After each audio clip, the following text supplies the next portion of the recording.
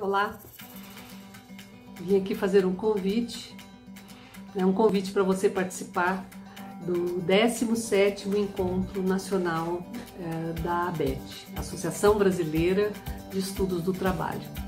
Nosso encontro esse ano será é, no formato online, é, a temática do encontro é crises e horizontes do trabalho a partir da periferia.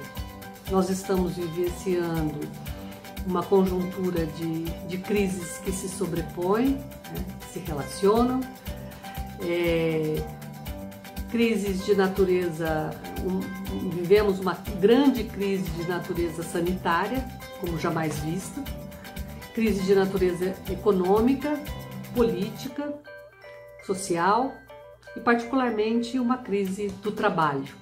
Né? Eu me chamo Vera Navarro, sou docente da Universidade de São Paulo, no campus de Ribeirão Preto, e juntamente com os meus colegas eh, Roberto Eloane, da Unicamp, eh, André Vizacaro, da Universidade Estadual de Londrina, e a Tanise Galon, da Universidade Federal do Triângulo Mineiro, coordeno, coordenamos, né? Nós coordenamos o GT é, 9, é, Trabalho e Saúde.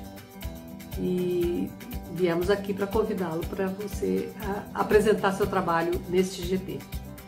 É, a, a, temática Trabalho e Saúde já é uma temática bastante estudada, né? já temos uma produção sociológica importante no país, e ela vem, é, é uma área que vem crescendo, né?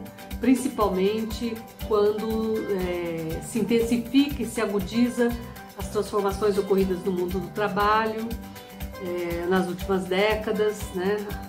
É, com o processo de reestruturação produtiva. É, esse quadro de saúde do trabalhador ele também é, piora, o trabalhador fica mais vulnerável a partir da, da reforma trabalhista e depois, mais recentemente, da reforma da Previdência Social. Na, na pandemia, né, é, se pôde ver muito bem o que, que representa né, essa informalização do mercado de trabalho, que já vínhamos assistindo, né, e que coloca numa situação de precariedade muito maior, de precarização do trabalho, uma precarização tanto das condições como das relações de trabalho, elas, elas é, ficam mais nítidas, ficam mais aparentes, é explosivo isso, né? É, então, isso também coloca novos desafios para os pesquisadores da área, entender né, o que significa é, nesse quadro da pandemia da Covid-19, quais serão os desdobramentos para a saúde do trabalhador, tanto a saúde física como a sua saúde mental, a saúde psíquica, que, que certamente está sendo muito afetada. Então, é, fica aqui o nosso convite, as inscrições já estão abertas, nós é, estamos recebendo uh, os trabalhos, as inscrições de trabalhos a, até o dia 15 de abril, né?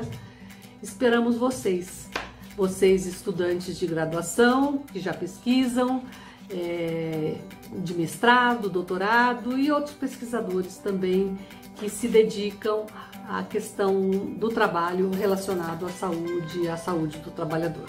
Aguardamos a sua inscrição.